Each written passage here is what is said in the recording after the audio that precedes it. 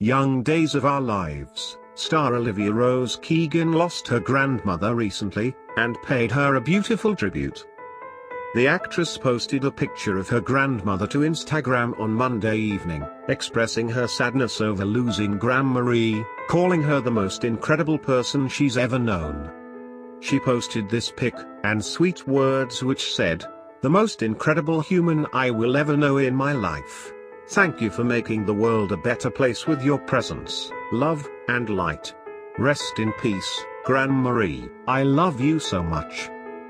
We offer Keegan our condolences during this sad time. Days of Our Lives airs weekdays on NBC. Share your thoughts, leave a comment below.